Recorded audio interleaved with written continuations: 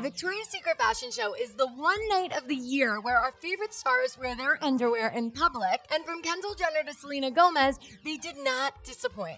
Hey guys, it's Katrina for HollywoodLife.com. So Kendall Jenner and Gigi Hadid took the runway for Victoria's Secret for the very first time, and they fit right in. I mean, have you seen Gigi's hair flip?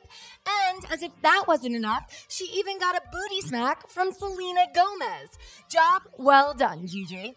Kendall Jenner also had major angel in the making moves as she dominated the runway in very Kylie esque lingerie, all while her proud parents looked on. But while Kendall was channeling the angels, her momager, Kris Jenner, was channeling the cool mom from Mean Girls. But hey, can you blame her? But the real winner of the night was Selena Gomez, who performed during the show for the very first time.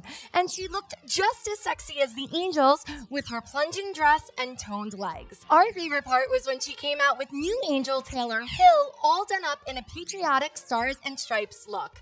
Squad goals, guys. Okay, that's our list. Let me know who you thought was best dressed at the show Selena or Gigi? Thank you guys for watching. We love you all so much, and all we ask so that we can keep making these awesome videos is that you subscribe to our channel, which is so easy. All you have to do is click on me on your desktop or down here